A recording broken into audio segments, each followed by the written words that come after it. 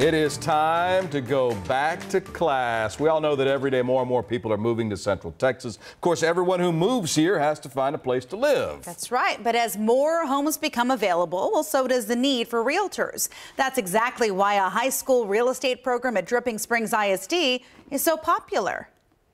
The first time that a student, a former student, mailed me their business card with a thank you note was a really powerful moment. Mike Lemons to the left loves teaching. So this is where the seller finds the buyer. His enthusiasm is palpable. And it really motivates me to want to continue to learn. In Lemons' class, you don't want to get into a losing situation right off the bat. Dripping Springs High School students are learning about real estate. Yeah, let's talk about protection periods. But this two semester course is especially unique. We're pretty much the only high school in Texas that has a class that allows you to get your real estate license. I think that's so cool. That's very cool. Look at that first chart. As a former realtor, I was in commercial real estate. Lemons has the credentials to teach the program. And what do you think I'm getting at? Which combines classroom lessons and what that means with field trips. Let's head off to the bus. Adopting such an innovative course took a few years and a lot of back and forth conversations Come on. with the Texas Education Agency. There's a process that you have to go through, but they, they work with you so closely to try to,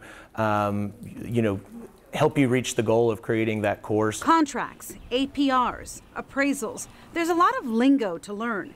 Most students, and some adults honestly, don't really have a base knowledge of it all. There's a big learning curve at the beginning of the year, but there's like a light bulb that goes off at some point and they really see the benefit of learning these things and why they can be so valuable to them in the future. Students must be 18. We were at her earlier in the year. And have 180 hours to sit for the May exam at the Texas Real Estate Commission. We had a photographer come in. If they pass, they can get their real estate license. After I get my license, I'm planning on doing two internships this spring actually, so that hopefully I can make my way into a real estate career as soon as the summer starts, right before college. It's such a great backup plan to have in case like my career goals don't work out the way I want them to. The guest house also connects into that area. And that's exactly what Lemons had in mind. Real estate could be a student's plan A or B. Either way, it's a helpful tool. There's a separate mother-in-law house here that's like a three, like a two-bed.